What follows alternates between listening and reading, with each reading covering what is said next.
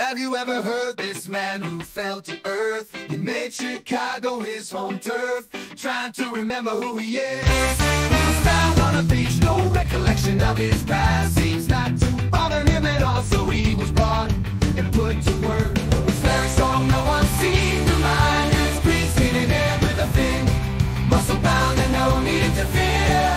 To help the CCPD, he's always there